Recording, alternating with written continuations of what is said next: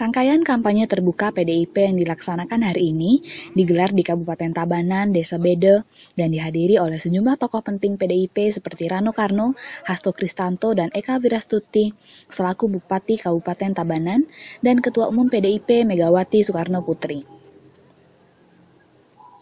Acara pertama dibuka oleh Rano Karno, lalu dilanjutkan dengan pemantauan oleh Megawati ke pasar murah yang diadakan oleh panitia yang menjual sembako dan kebutuhan rumah tangga di Wantilan Desa Pekraman Bedo.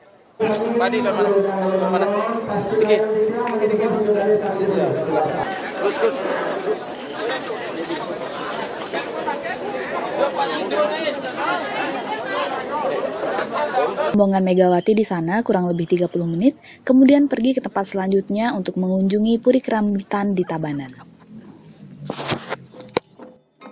Ya, sebagaimana kami sampaikan, eh, kampanye PD Perjuangan akan menjadikan tiga hal. Yang pertama ada jejak sejarah perjuangan bangsanya.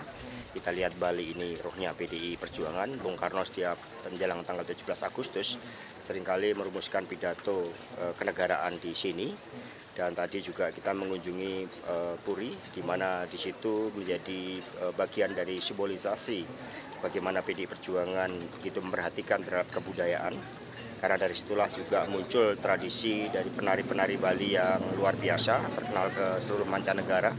Dan juga yang kecil yang kedua kerakyatan. Maka tadi menghadiri pasar murah dan yang ketiga panggung politik rakyat di mana Ibu Megawati Soekarno Putri beserta Mbak Puan dan Mas Rano Karno menjadi juru kampanye nasional akan menyampaikan garis besar kebijakan PD Perjuangan termasuk ajakan untuk bersama-sama mendukung PD Perjuangan agar Pak Jokowi bisa menjadi presiden nanti.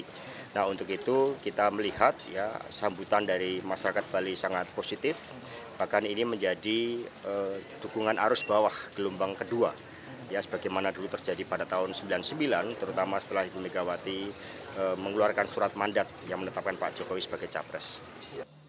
Solo Bali mengabarkan.